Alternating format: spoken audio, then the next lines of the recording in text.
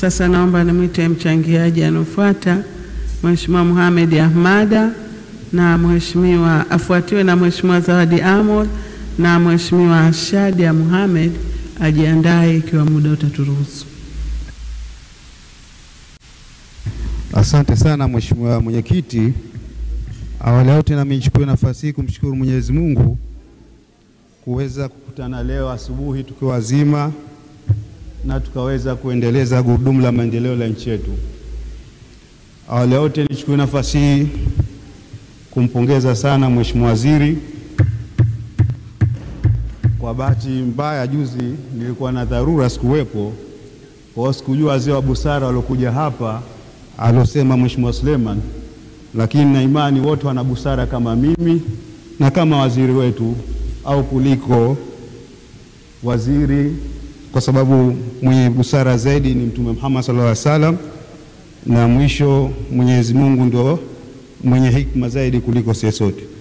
Mheshimiwa, mimi nianze kwa kumpongeza Mheshimiwa Waziri, Katibu Mkuu, Naibu Katibu Mkuu pamoja na watendaji wake wakuu wote wa zile section tofauti zilizokuwemo katika wizara hii. Kusema la kweli, ni wizara kubwa, ni wizara muhimu, inazungumzia katiba, sheria, utumishi na utawala bora. Kwa hiyo ni muhimili mkubwa sana katika shughuli zetu za siku zote, na nimshukuru Mheshimiwa Rais alipokuja kututubia hapa barazani, alisema katika awamu yake hii ya nane katika kipindi chake hichi cha miaka mitano, jambo la mwanzo atahakikisha ni kuona kwamba kunakuwa na utawala bora na uwajibikaji na uadilifu, na wizara hii imepata mwenyewe asema mkunaji mzuri wa upele, na nimtakie kila la heri. Wenzangu wamezizungumzia takriban sekta zote, na mimi nitazizungumzia kwa ufupi sana tena sana. Mheshimiwa Mwenyekiti, Ofisi ya Mufti ni katika ofisi muhimu sana katika maendeleo ya nchi yetu, na jambo muhimu ambalo Mufti anatakiwa katika, katika ofisi yake kwa mujibu wa sheria ni pamoja na kuona kwamba kuna kuwepo kwa ufuatiliaji wa karibu na masuala yote yanayohusiana na dini yetu ya Kiislamu na vile vile vyuo, madrasa na misikiti. Nimwombe sana tena sana ofisi ya Mufti Mkuu, ikiwa ni ina dhima kubwa sana kwa mujibu wa sheria, iangalie sasa na ifanye utafiti. Wameweza kuandaa madarasa yale ya ndoa, lakini vile vile kuna umuhimu sasa kuangalia ni kipi chanzo cha talaka kuwa kikubwa Zanzibar na watu kutalekeana baada ya muda mfupi na wengine wanapata hayo mafunzo. Ni jambo ambalo wakae walifanyia utafiti na kujua ni nini sababu hasa, tukiangalia kwamba tayari hivi sasa kuna darsa kama hizo za mafunzo ya ndoa. Lakini vile vile niwaombe sana waangalie, kwa sababu madrasa ni sehemu ya jamii, na mwanafunzi anapokuwa katika madrasa ni sehemu ambao anataka apikwe na tarbia islamia, malezi ya Kiislamu.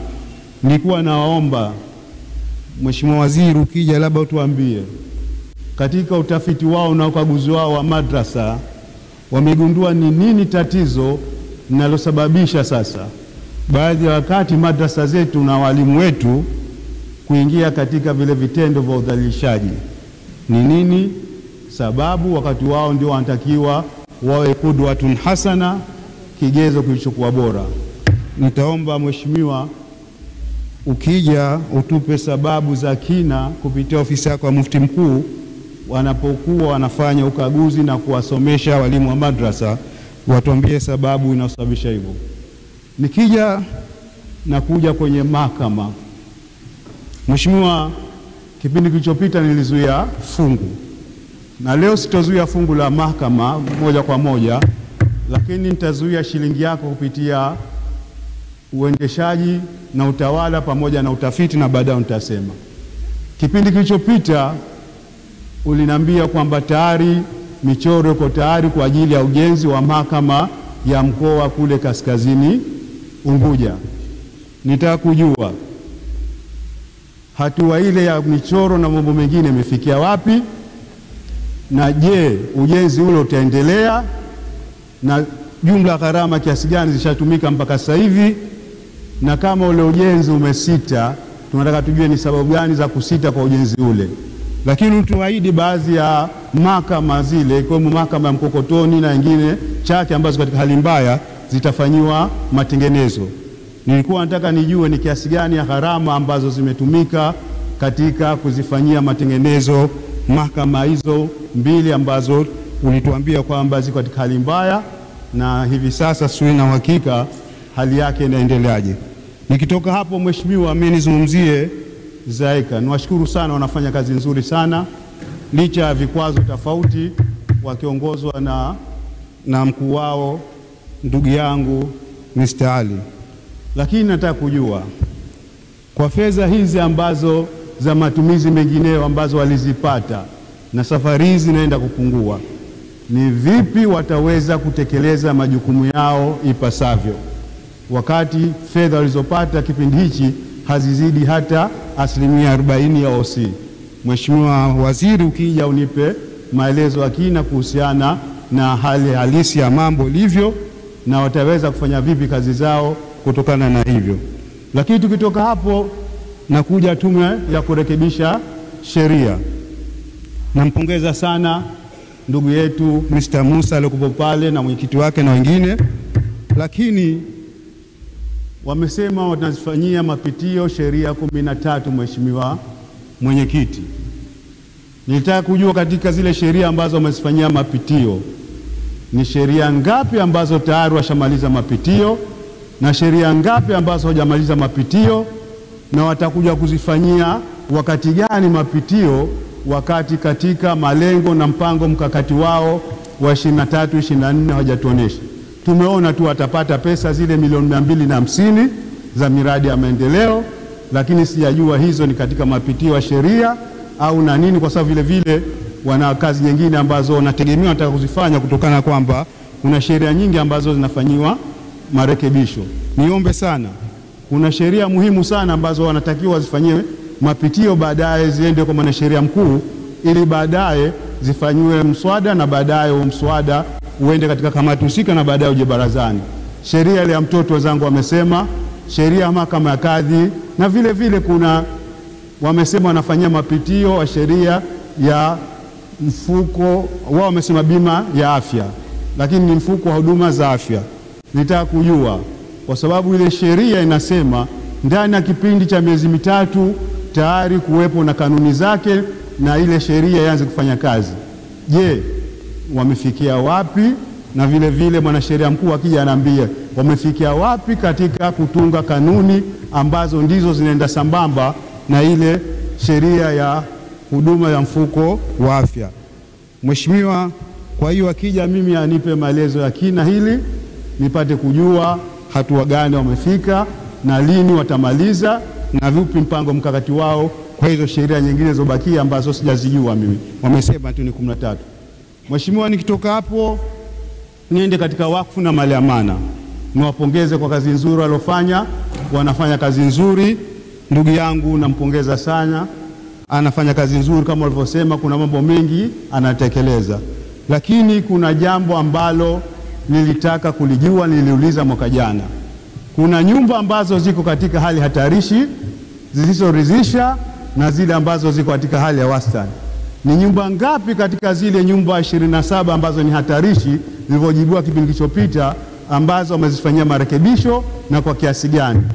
Na vile vile ni mapato mangapi wameingiza katika kazi ambazo wanazifanya kupitia nyumba zao za wakfu zile ambazo ziko nyingi tu Unguja na Pemba na zaidi katika jimbo letu la Malindi.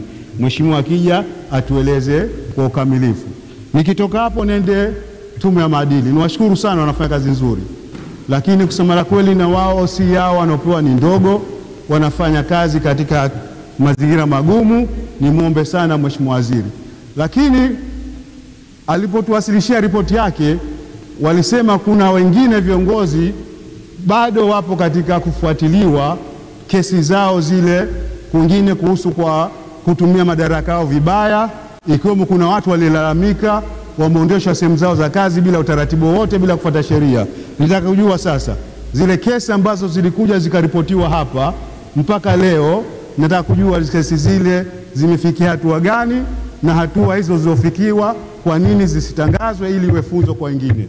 Mheshimiwa Mwenyekiti, nikitoka hapo nizungumzie vile vile, wenyewe wanasema mtandao, watu mtandao hawa wenzetu ambao nao wanafanya kazi nzuri sana, na mimi nawapongeza sana kwa kazi yao nzuri, lakini nitaka kujua mheshimiwa, hawa watu wamepewa kazi mojawapo, kazi hapo kama nilivyosema, kupitia vile vile mfumo ule wa wa afya ya bima ili kupata kujua ni wafanyakazi wangapi ambao watakuwemo mle. Mimi nilikuwa nataka kujua tu katika kupitia ule mfumo wamefanikiwa kugundua kitu gani, ni wafanyakazi wangapi ambao wataendelea kusajiliwa kwa ajili ya kutekeleza ile sheria nilosema, sheria inahusiana na huduma za mfuko wa, wa afya. Sasa nilikuwa naomba kwa sababu kama nilivyosema kule mwanzo, naomba radhi kule kwamba ile si marekebisho, kule ni kanuni nilizungumzia zaidi, sio yale marekebisho. Marekebisho kama alivyosema, haile sheria haina matatizo, lakini katika mfumo wa e-government wao wanaendelea kufanya utaratibu wa kujua mfumo utachukua vipi wafanyakazi ambao wanatakiwa waingizwe katika ule mfumo, baadaye wapate kulipa huduma za bima afya. Sasa nataka kujua ni miezi mitatu kwa mujibu wa ile sheria tokayo tuipitishe, ili kuwe na kanuni, tuwajua watu wapo katika mfumo wako wangapi. Sasa na kujua kupitia hii government wameweza kufikia hatua gani na ile sheria, kwa sababu na kanuni zake ni miezi mitatu tokea tulipopitisha ile sheria, sasa hivi ni takriban miezi mitatu, na wao bado wanaopitia mfumo. Sasa nijue ni ipi changamoto iliyowafanya mpaka leo wasiumalize mfumo, wakati vile vile wanaenda kufanya na mfumo wa ajira. Sasa nikija hapa, Mheshimiwa Waziri, nitaomba unijulishe hilo. Nyingine kama nilivyosema, niwapongeze sana tena sana watu mwendesha mashtaka mkuu kwa kazi nzuri anaofanya, lakini nimwombe sana tena sana kesi za dawa za kulevya zinachelewa, lakini si hivyo tu. Kwa sababu gani kesi zikifika kule, tumeona hapa nyingi zinakosa ushahidi. Tatizo ni nini? Watu hawaendi kutoa ushahidi, au tatizo ni kwamba vile vidhibiti ambavyo wanaenda navyo vinakuwa vina kasoro. Nitamwomba sana Mheshimiwa Waziri akija atuarifu, lakini vile vile kama wao walivyo e-government wote ausi zao hazizidi asilimia kumi na nane ni jambo ambalo la kusikitisha. Mheshimiwa Waziri, hili si lako, najua ni afisa rais, ambao nyote ni, ma, ni afisa rais. Sasa sijui hizi ofisi za afisa rais ndio nyingi zinazoongoza kukwata osilo kwa chini zaidi. Nimshukuru sana mwanasheria mkuu wa Zanzibar naye kwa kazi nzuri anayofanya, anajitahidi sana, lakini nimwombe sana tena sana aendelee kuwapa mafunzo watumishi wake, hasa katika kada hii ya sheria hasa wale watu wa drafting, kwani ni watu ambao wanahitaji wanakutuletea miswada, basi hiyo miswada ambayo iko vizuri, ili sasa tusitoe makosa mengi sana, wala isiyo na vifungu vingi sana tena sana. Nilisikia hapa mheshimiwa mwenyekiti wa kamati ya viongozi wakuu wa serikali anasema sijui ina vifungu takriban mia moja na hamsini na tatu kama ilivyokuwa sheria ile ya dawa za kulevya. Haina haja ya kuwa na vifungu vingi, lakini kwa sababu drafting ya siku hizi ni ya kisasa zaidi waangalie vifungu ambavyo watu wataweza kuvileta vinavyoendana na kisasa na vinavyoendana na mfumo wa kidijitali. Nikitoka hapo, vile vile, Mheshimiwa, niendelee kuwapongeza Tume ya Utumishi na Kamisheni ya Utumishi kwa kazi nzuri wanaofanya, lakini niwaombe sana tena sana, wakati wanapochukua wataalamu wa sehemu moja kuwapeleka sehemu nyingine, wasitoe kibali bila kuangalia, je, hawa watu hakupewa adhabu? Nina mifano mizuri tena sana Mtu unamtoa sehemu ambapo ni mfanyakazi bora, anafanya kazi vizuri, kwa sababu kamkwaza mkuu wake kwa kumpa ushauri, akasema yeye akajimwamba fai, unajua mimi nani? Haiwezekani kabisa. Mheshimiwa, naomba sana mfanye uadilifu katika hili, kwani hawa watu mnawakwaza, mnaweka sehemu ambazo hawawi watu ambao wanaweza kuzalisha kitu. Mheshimiwa, najua ni mambo mengi ambayo wizara hii inayo, kwa hiyo mimi niwaombe sana vile vile watu waendeshaji wakija watuambie, watu wa sera na utafiti, kwamba wanasema kuna mapitio ya sera, lakini vile vile hizo sera wanazozipitia tunawaambia kwamba wahakikishe zinaendana na wakati na vile vile zitaweza kuleta tija, kwa sababu ukiangalia fedha walizotengewa safari zinapungua, lakini vile vile utafiti wanaotaka kuufanya hauonyeshi kwamba viashiria vinaenda sambamba. Kwa hiyo niombe sana, hivi viashiria mnavyotuwekea humu katika vishikwambi, sisi ndo tunavyovizuia hayo mafungu. Mnapotuambia viashiria ambavyo haviendi sambamba na fedha na OC, wakati wizara hii fedha zake za OC za mishahara zinapungua, lakini inaenda kuajiri wafanyakazi wa ziada. Sasa hapa mnatukwaza na baadaye mnatuambia sijui kuna adjustment ya salary. Hivi sio vifungu vya sheria wala vifungu vya kibajeti vinavyotakiwa viwe. Nikuombeni sana watu wa sera, utafiti na mipango, mnapopanga viashiria mvipange kutokana na uhalisia wa hotuba bajeti ya Mheshimiwa Waziri pamoja na vishkwambi ambavyo vinatoka Wizara ya Nchi, Ofisi ya Rais, Fedha na Mipango na Mipango. Mheshimiwa, baada ya kusema hayo, kama nilivyosema, wale wote mimi niwaingiza katika fungu moja tu, kwa sababu nani mziwanda wangu na jirani yangu hapa kanaambia kwa ofisi na yale niloombwa na Mheshimiwa Juma Latibu na Mheshimiwa Suleiman na wazee wa busara wenzangu waliokuja siku hiyo kutoka kusini kwetu huko. Kwa hiyo mimi nitazuia kifungu kimoja tu, Mheshimiwa Mwenyekiti.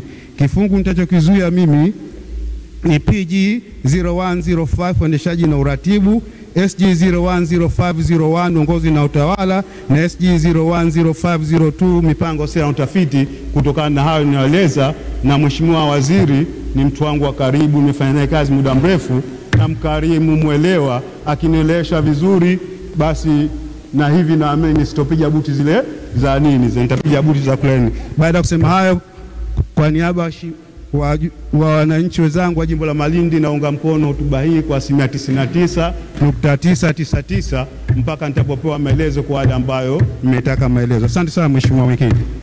Asante sana na kushukuru Mheshimiwa Mohamed Ahmada kwa mchango wako. Usisahau kusubscribe, kulike, kucomment na kushare Mshindo TV.